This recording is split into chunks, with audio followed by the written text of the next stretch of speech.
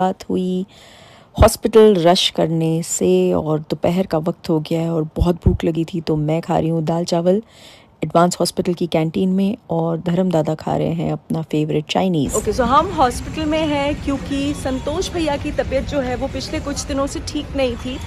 परसों उन्होंने मुझे बताया कि आ, उन्हें ठीक नहीं लग रहा है उन्होंने मुझे अपने सिम्टम्स बताए तो मुझे कुछ गड़बड़ लगी और जो उनके लोकल डॉक्टर ने डायग्नोस किया था मुझे सही नहीं लगा तो मैंने उनको तुरंत बोला कि आप जाओ, डॉक्टर तुषार को दिखाओ। मैंने डॉक्टर तुषार से बात की, आज सुबह भैया यहाँ आए थे और फिर डायरेक्टली डॉक्टर तुषार ने जो है वो हमें फ़ोन किया और बोला कि मैं इन्हें एडमिट कर रहा हूँ क्योंकि उनका बीपी बहुत ज़्यादा हाई है। हालाँकि अल्लाह का शुक्र है कि नथिंग टू वरी सब कुछ ठीक है, वो अंडर ट्रीटमेंट है और सही वक्त पे पहुँच गए हैं।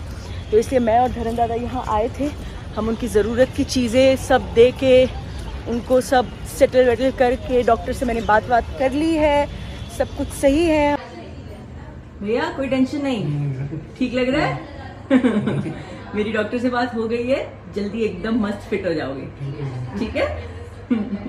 और निकलते वक्त नज़र पड़ी उस कमरे पे जहाँ पिछले साल हम पापा को लेके थे यहीं पे।